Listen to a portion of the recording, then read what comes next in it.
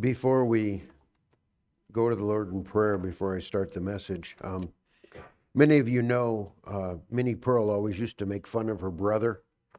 You know, and she always used to call him nothing but brother. That was it. And uh, she was telling the story one day about visiting with some people and about how brother finally made it to college. And she was asked, well, so what's brother studying? And he said, Well, she ain't he ain't studying nothing. They're studying him.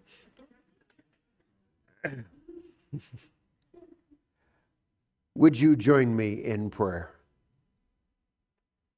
Father, as we open up your word, as we share together, we ask for your blessing upon us. We thank you for the way you work in our lives. We thank you, Father, for the truth that your word holds for us. May you bless us and be with us. May we faithfully see what you have to show us. In the name of Jesus, amen. So, in the Bible, and we have talked about this, there are a number of biblical truths that we need to make sure we never surrender on. And this is especially important when it comes to the two moments that we're going to talk about, because we're going to talk about the incarnation of Jesus or his birth and the crucifixion, his death. Christmas must always be celebrated with the thoughts of Easter in mind. The cradle in a stable, uh, providing a resting place for a little baby must always be looked at together with a beaten man hanging on the cross.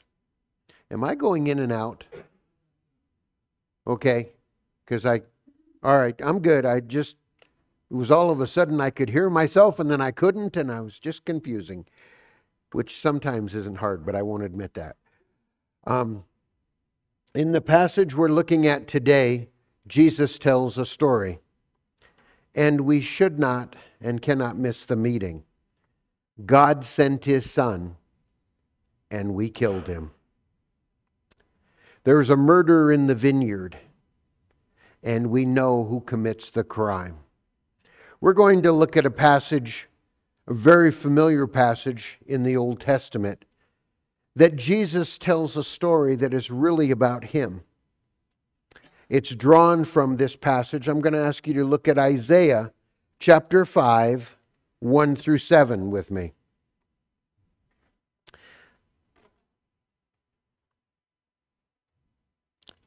Isaiah 5, 1 through 7 begins Now let me sing to my well beloved, a song of my beloved regarding his vineyard. My well beloved has a vineyard on a very fruitful hill. He dug it up and cleared it out, cleared out its stones, and planted it with the choicest vine. He built a tower in the midst, and also made a winepress in it. So he expected it to bring forth good grapes, but it brought forth wild grapes. And now, O inhabitants of Jerusalem, O men of Judah, judge please between me and my vineyard. What more could I have done to my vineyard that I have not done in it? Why then, when I expected it to bring forth good grapes, did it bring forth wild grapes? And now please let me tell you, what will I do to my vineyard? I will take away its hedge, and it shall be burned, and break down its walls, and it shall be trampled. I will lay it waste. It shall not be pruned or dug, but there shall come up briers and thorns I also command the clouds that there shall be no rain on it.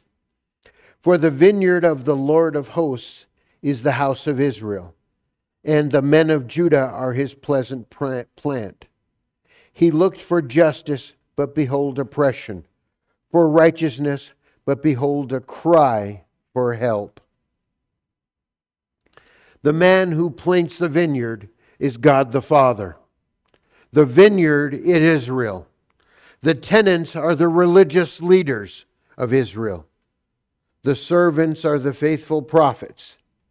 And the beloved Son is Jesus. God is incredibly pre- wow.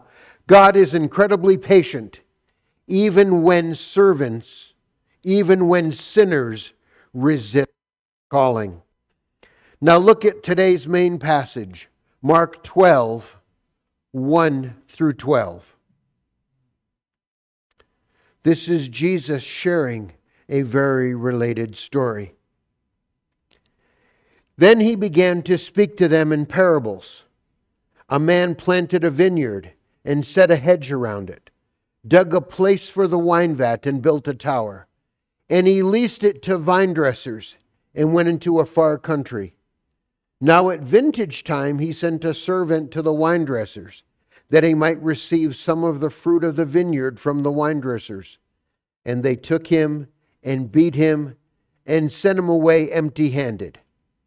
Again he sent another servant, and at him they threw stones, wounded him in the head, and sent him away shamefully treated. Again he sent another, and him they killed, and many others, beating some and killing some. Therefore, having one son, his beloved, he also sent them last, saying, They will respect my son. But these wine dressers among, said among themselves, This is the heir. Come and let us kill him, and the inheritance will be ours. So they, so they took him and killed him and cast him out of the vineyard. Therefore, what will the owner of the vineyard do? He will come and destroy the wine dressers and give the vineyard to others. Have you not read this scripture? The stones which the builders rejected has become the chief cornerstone. This was the Lord's doing and is marvelous in his eyes. And they sought to lay hands on him, but feared the multitude, for they knew he had spoken the parable against them. So they left him and went away. A parable in Nelson's Illustrated Bible Dictionary is described as a short, simple story designed to communicate a spiritual truth, religious principle, or moral lesson. They were used by Jesus many, many times to share truths. An example of them being shared more by, uh, by others than just Jesus is when the prophet Nathan approached King David and he shared and told about a single sheep. And David recognized that. Nathan did this dealing with the sin of King David. The parable that we're looking at today is the story of Israel's relationship to God and a reminder of God's incredible patience. 2 Peter 3 9 says this the Lord is not slack concerning his promise, as some count slackness, but is longsuffering toward us, not willing that any should perish, but that all should come to repentance. God planted a nation called Israel in a special vineyard. In spite of the fact that he planted her, put some protective fencing, a tower, she did not produce good things, but bad. The landowner had made an agreement with the tenement farmers. That agreement was they would provide, they would take care of the land, that they would be reliable caretakers. They would work the vintage, vineyards, benefit from the produce, and pay a percentage of the harvest to him as rent. In order for the landowner to retain legal rights to his property, he had to receive something from the tenants. So, as we see in today's message, man planted a vineyard, set a hedge, dug around it, built a tower, and let others come in to run it. And when it came time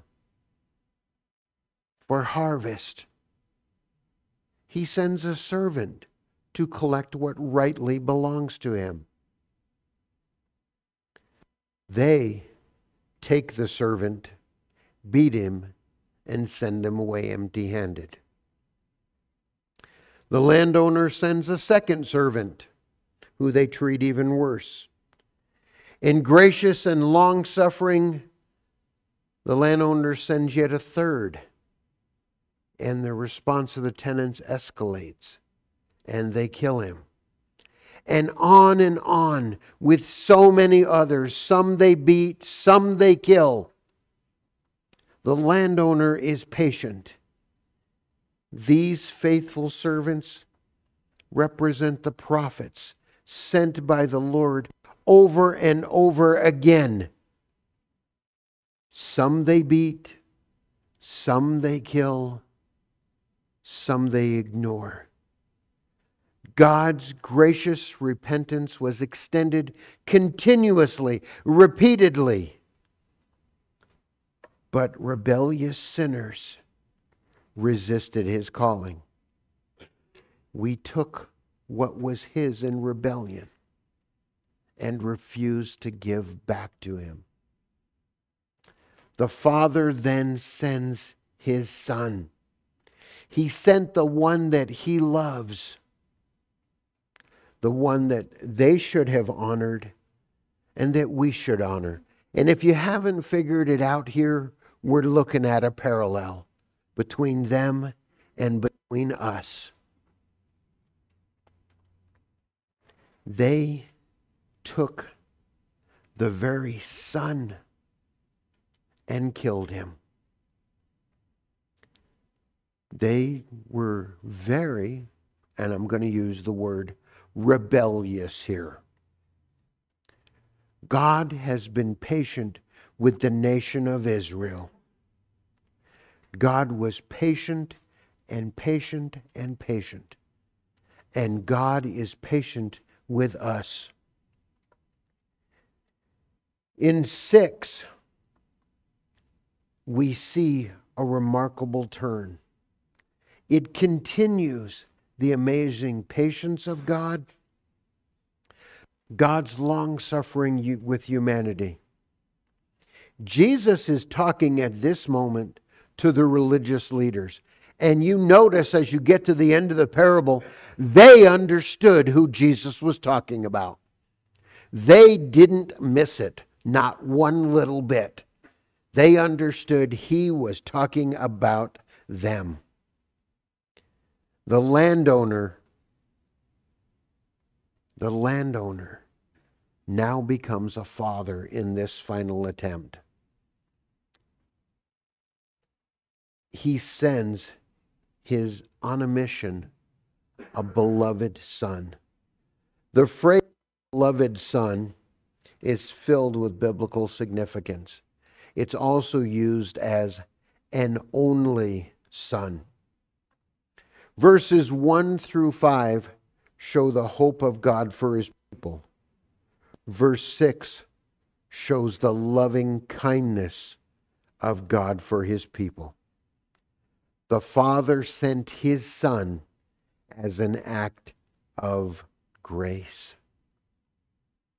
Now, one author that I read said, seeing the Son, seeing that the Father sent the Son, the tenants maybe thought that he was dead, that the Father was dead, and that the Son was now coming. So they assumed, hey, we kill him, it's all ours. But that's not the case. The foolishness that they had, the evil in their hearts, would lead to their own downfall.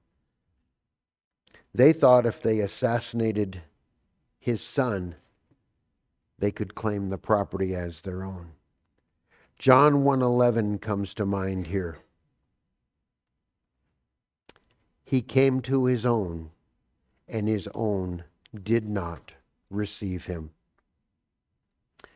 To reject the Son is to reject the one who sent him.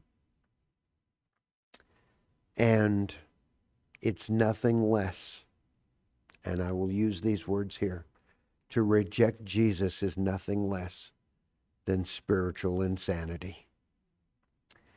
Even though people, they believe they can escape ju- God's judgment, God's judgment will certainly come. The one rejected and murdered will be vindicated. We respond to this change in events, and how we respond could not be more important. Historically, God judged the religious leaders and their nation for their rejection of the Son. In AD 70, Jerusalem was absolutely destroyed. Jesus prophesied that in the temple there would not be one stone left upon another. Today, that same judgment falls on all who have rejected. Looked at Hebrews 10:29. Of how much worse punishment do you suppose that he be thought worthy who has trampled the Son of God underfoot, counted the blood of the covenant by which he was sanctified a common thing, and insulted the Spirit of grace. Jesus quotes Psalm 118 here, and we're going to look at that.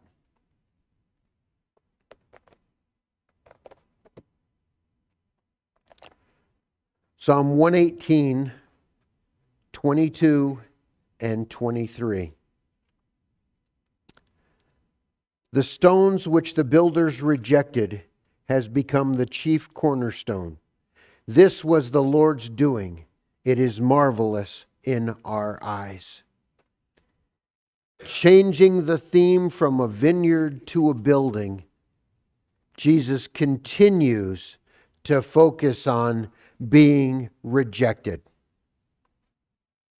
The stone rejected would become a well known symbol for the Messiah. The Jews rejected Jesus. They rejected the stone and cast it aside as worthless or of no value. They beat him, they crucified him. God, however, in a marvelous reversal, takes whom they have rejected and makes absolutely chief cornerstone. Literally, the head of the corner, the keystone.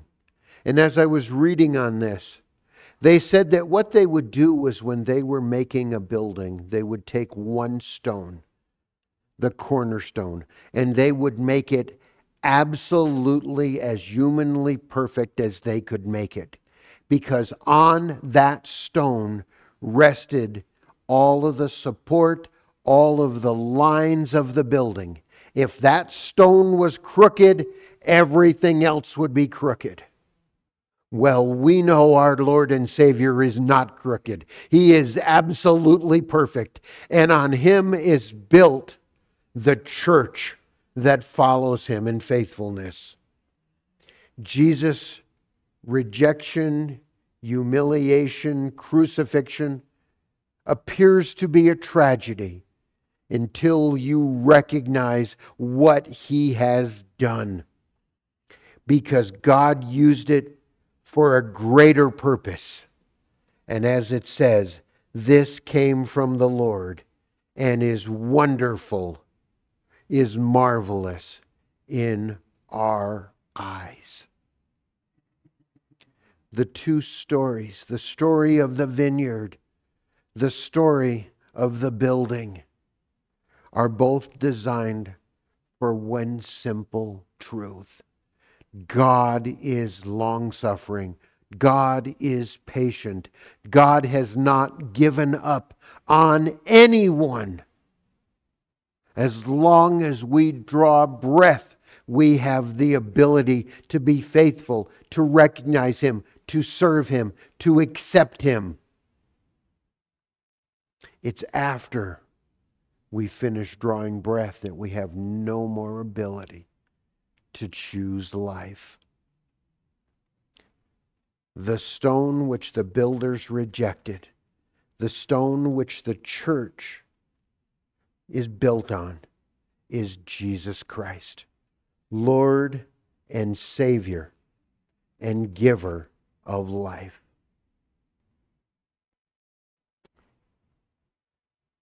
Going right along with this, we have this morning communion.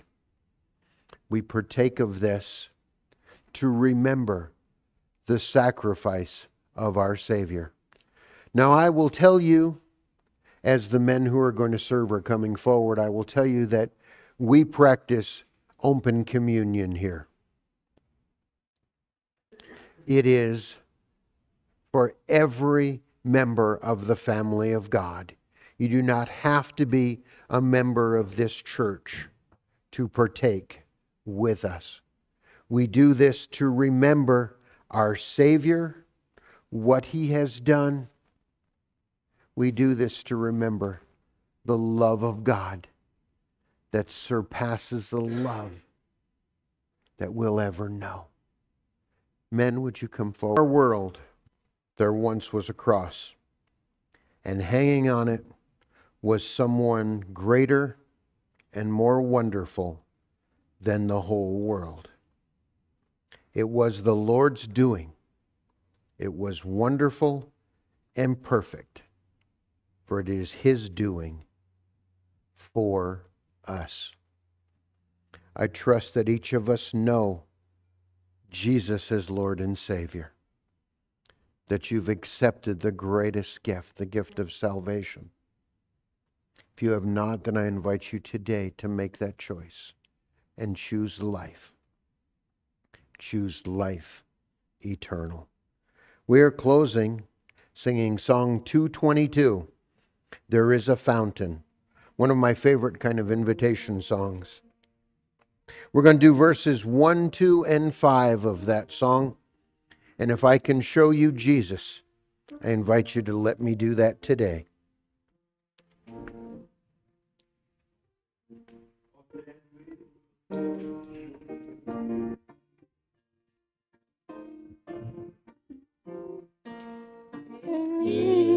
A fountain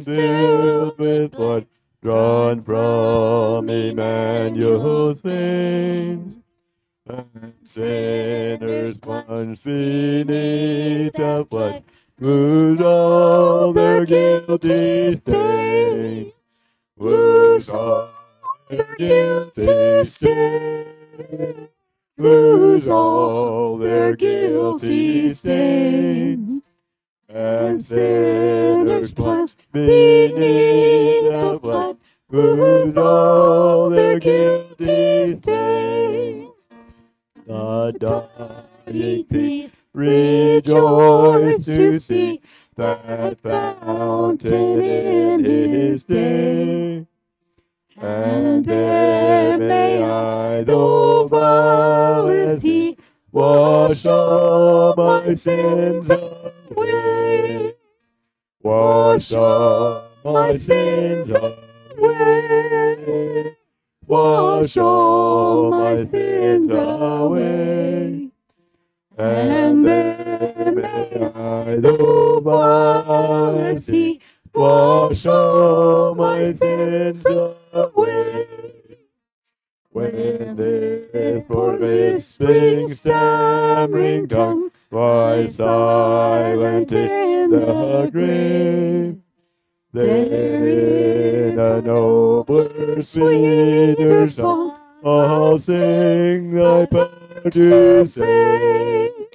I'll sing thy power to save. I'll sing thy power to save. Then in a nobler, sweeter song, I'll sing thy power to By way of announcement, I would like to tell you I know some of you expected the next piece of the church constitution today. I cannot tell you everything about it, but I felt the need to present this message today. So next week, we will get to the next piece of our Constitution. And we're doing this, and I, I, have to share this with you.